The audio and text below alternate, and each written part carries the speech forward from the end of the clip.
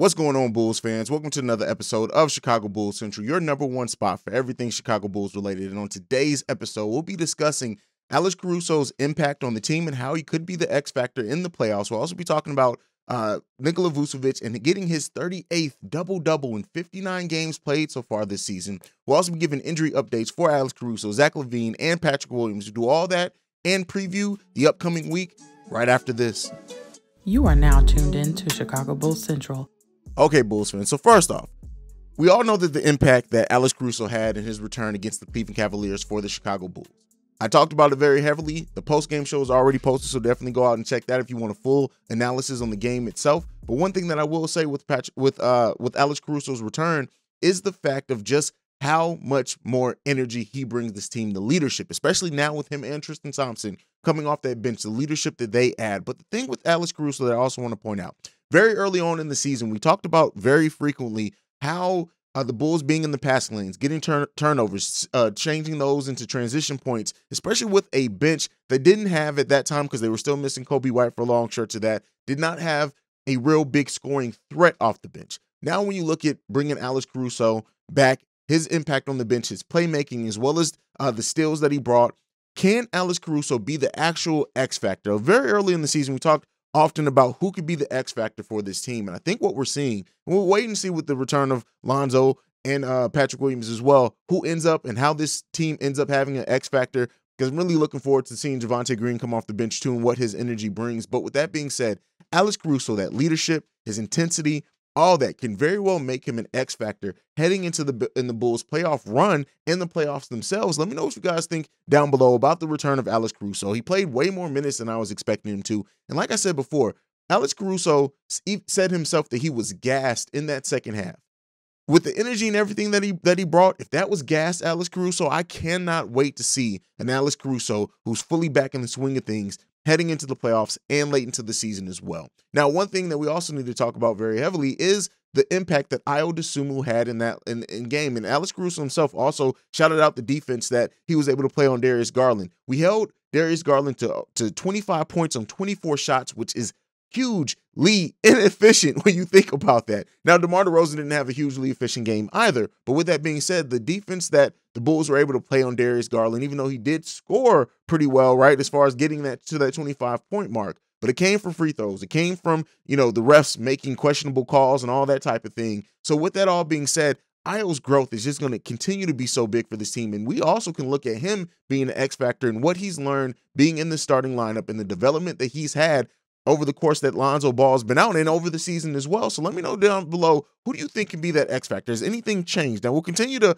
monitor it as we get play- more players back healthy. But I think for me, I really do expect Alex Caruso be, to be the X factor, especially when you look at how the Bulls five out of the last six games are all against playoff or play-in teams. Um, and and you know heading into the playoffs, really going to be interesting to see how this team all comes together. And one thing that I do want to talk about is in the game as well, Nikola Vucevic getting his 38th double double in 59 games played. I know Nikola Vucevic is having a down season compared to his his his usual stats, but I think we also need to acknowledge that even a down Nikola Vucevic is giving us so much. And Nikola uh, was very engaged in this game. He used his size to his advantage against a rookie in Mobley who just didn't have the body to really keep him from doing what he wanted to do. And this is something that we did not see very frequently from Nikola Vucevic at the beginning of the season, and especially sometimes over the course of our last losing streak and everything like that. It's good to see that Vooch uses his size. And I think, you know, I know Bulls fans overall are down, but I think sometimes people just don't understand like the impact that Nikola Vucevic's presence brings and how much it makes things easier on offense for the people around him as well, even at times when his shot's not falling. That's just my opinion. Let me know what you guys think about it down below. But I do want to also give in some injury updates. So Alex Caruso is now off the the injury report. So we know that he's going to be in there more times than not, which is exciting, which is good. Zach LaVine is still listed as questionable on that. So we'll see what happens with Zach LaVine in tonight's game against the Sacramento Kings, which is a late game. Um, but overall, it's it's looking better for the Bulls injury report. Uh, with, things sit right now, seems like Patrick Williams they say could be back as early as Friday. What what I think is going to happen is much like we saw with Alex Caruso. Once Patrick Williams has a full contact practice, as long as his body responds well to it, and they take a look at it, he's probably going to be back that same day or the day after he he gets his first full contact practice, which is very exciting um, for, for uh, this franchise and that we've been looking out and seeing what we're and wondering what we're going to get from Patrick Williams. And I think also getting Patrick Williams back with 10 plus games left in the season to really get himself in rhythm, get himself in order, figure out uh, his place on the team, things like that, and getting ready for a playoff run. It could be huge. Let me know how excited you guys are about potential. I know there's something that I've asked probably in the last three videos,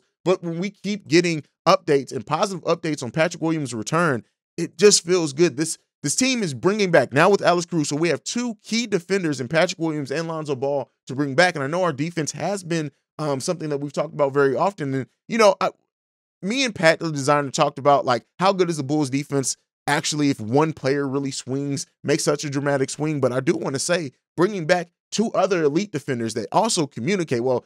Lonzo, and who communicates to the team, and also Patrick Williams and what he brings with his raw defensive talent. This team's uh, ceiling is is really high, and I know a lot of Bulls fans have been down, but I'm really excited to get this team back at full health to see what we really can be and what we will look at look like gearing up for a playoff run. But before we head into that run, we have to do another West Coast trip, and let's talk about that coming up this week. The Bulls tonight have a game against Sacramento, which doesn't start until 10 p.m. my time. We still will have a pregame, postgame, and a and a uh, halftime hangout. Pray for me on those and my energy, but we will have that. But we have Sacramento tonight, Utah on Wednesday, Phoenix on Friday. The Phoenix postgame show will be hosted by our own Ricky Fontaine again. I won't be able to host that one, so make sure you guys are on the lookout for that. But with that being said, this week, it, it looking on paper, it looks like to be a two on one week. But keep in mind, Phoenix may be without Chris Paul in that game. What does that change now? That's a Phoenix team that last night put up 140 points on the Lakers. Now, that is also the Lakers, but it's still a team that can score. And the Bulls defense is going to have to be locked in on that game. But before we get into that game or get to that game, we still have to beat and face Sacramento and Utah. Now, Sacramento is going to be a tough matchup. We saw how close they played us in the last game. And, you know, while they're not a team that's necessarily fighting for a lot, right?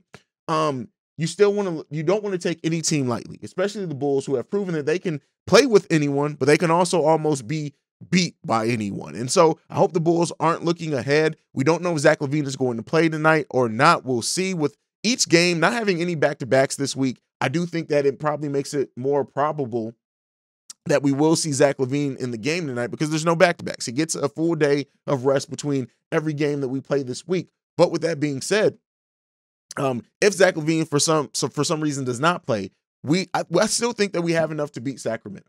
I really do think that. Now the Utah game can get very interesting, extremely interesting, really, when you look at it. Um, and so how the Bulls play against Utah, they're going to need to be locked in offensively and defensively. They're going to have to play like they did against uh, the Cleveland Cavaliers. They're going to have to give a lot of heart, a lot of desire. The Utah Jazz right now are number four in the Western Conference. So you know, be on the lookout. I know that doesn't change the Bulls not beating the top three teams in either conference, but with that being said, the Bulls face another tough opponent, playoff type atmosphere with basketball, and I do think that they have enough to beat the Utah Jazz. Now, when it gets to the Phoenix Suns game, like I said, even without Chris Paul, that team is so high octane and high powered that the Bulls really do have to be locked in. Now, do they have enough? Do they do enough to make the needed defensive stops to win that game?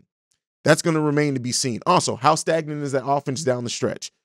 Are they? Is it just Demar again, or is Billy Donovan going to start trusting other players to do things as well down the stretch? All those questions remain to be answered in a week in which the Bulls face have three games over the course of this week. What are your guys' predictions for the Bulls record over the course of this week? I don't know there are going to be some Debbie Downers in the comments where the Bulls are going to go one and three. I know all that's coming. I know it's coming too. The Bulls are going 3 and 0 from some C Red fans. I love it all. You got to take the good with the bad. But let me know down below what is your expectation? What do you think the Bulls uh, record is going to be over the course of this week as they face as they have those three games. And as far as the Bulls schedule, it's not going to get any easier, right? Um, it does it does have a brief lull, but then we gear up, and like I've been saying for a long time, like five out of our last six games are going to be very very tough for the Bulls. But luckily, it's going to show us exactly where this team stands. But, you know, I don't want to get into that. We'll get into those weeks when it's time to get into those weeks. Let me know down below. What do you guys expect the Bulls record to be over the course of this week? And that is it for me for today, guys. Make sure you're following the podcast at Bull Central Pod. You can also send uh, any feedback, questions, comments, concerns, bullcentralpod at gmail.com. If you want to follow me personally, you can do so at CEO Haize. That's CEO H A I Z E. If you want to leave a voicemail, you can do so at 773-270-2799. We had an all voicemail episode uh, basically on Saturday that went over very, very well, but I will be trickling in uh, voicemails over the course of the week if you guys send them in as well. But that's it for me for today, guys. Make sure you see red, don't be red. Go Bulls. Love you guys. Peace. This has been a presentation of the Break Break Media. Media.